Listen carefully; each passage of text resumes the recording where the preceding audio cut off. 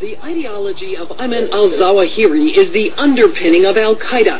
He is its strategist, its propagandist. Zawahiri is a physician and an Egyptian who in the 70s conspired to overthrow his government. After the assassination of President Anwar Sadat, Zawahiri was jailed and tortured for three years. He went to Pakistan, where he treated mujahideen fighting against the Soviet occupation of Afghanistan. It was there that he met a young Saudi named Osama bin Laden.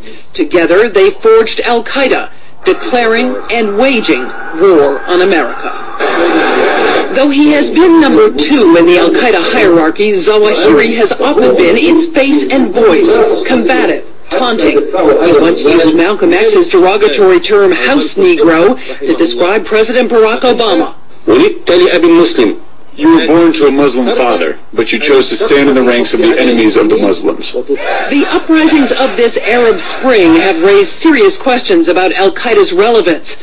Zawahiri has tried to mute them. Some are worried about the prospect of Zawahiri leading al-Qaeda. Zawahiri's coming to power would put emphasis on the thing that we all fear the most, which is the conjunction of terrorism and weapons of mass destruction.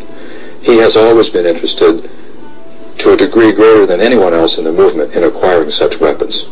But other experts point out that he is often described with the words disliked and divisive.